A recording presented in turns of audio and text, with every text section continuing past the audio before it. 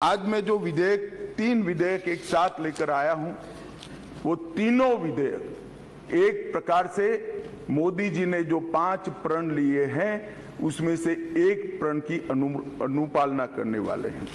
माननीय अध्यक्ष ये तीनों विधेयक दंड विधान प्रक्रिया क्रिमिनल जस्टिस सिस्टम को बेसिक कानून इसके लिए मूलभूत कानून ये तीन विधेयकों के अंदर है।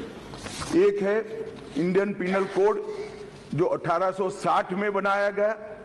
दूसरा है क्रिमिनल प्रोसीजर कोड जो अठारह में बनाया गया।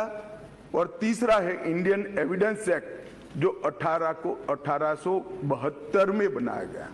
1860 अठारह और अठारह में अंग्रेज़ों द्वारा बनाए गए अंग्रेज़ों की संसद के द्वारा पारित किए गए ये तीनों कानूनों को समाप्त कर कर आज हम तीनों नए कानून पुरस्तापित करने के लिए मैं आया माननीय अध्यक्ष जी, इंडियन पिनल कोड 1860 की जगह भारतीय न्याय संहिता 2023 अब एस्टैब्लिश होगी।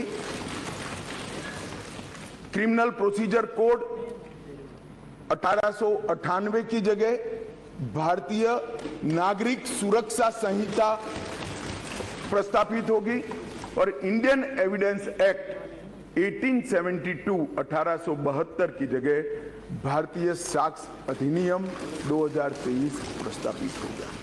यह कानूनों की, जो कानून रिपील होंगे इस तीनों विधेयक से, वो कानूनों की आत्मा जो है वो कानूनों का मध्य बिंदु है, कानून बनाने का। वो अंग्रेज़ शासन को मज़बूत करने की दृष्टि से कानून बनाए गए थे। अंग्रेज़ शासन की रक्षा करने के लिए कानून बनाए गए थे और उसका उद्देश्य दंड देने का था, न्याय देने का नहीं था।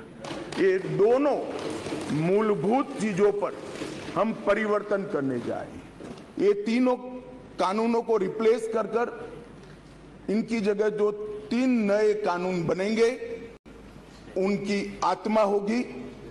भारत के नागरिकों को संविधान प्रदत्त सारे अधिकार जो मिले हैं, इसकी सुरक्षा। ये कानूनों का उद्देश्य किसी को दंड देना नहीं होगा इन कानूनों का उद्देश्य सबको न्याय देना होगा। और न्याय देने की प्रक्रिया में, ये न्याय देने की प्रक्रिया में दंड वही होगा जहाँ अपराध रोकने का बोध खड़ा करने की ज़रूरत है।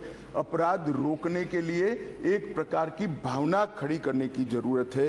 वही होगा। और मैं ये तीनों कानूनों को आगे मैं बताता हूँ बड़े ध्यान से इस प्रक्रिया में मैं इन्वॉल्व रहा हूँ। अध्यक्ष जी मैं सदन को आश्वस्त कर, सकता हूँ कि 1860 से लेकर 2023 पर तेईस तक अंग्रेज़ों ने बनाए, अंग्रेज़ पार्लियामेंट ने बनाए हुए कानून के आधार पर इस देश की क्रिमिनल जस्टिस सिस्टम चलती रही। इसकी जगह भारतीय आत्मा के साथ ये तीन कानून अब प्रस्तापित होंगे और हमारी क्रिमिनल जस्टिस सिस्टम के अंदर बहुत बड़ा परिवर्तन आएगा।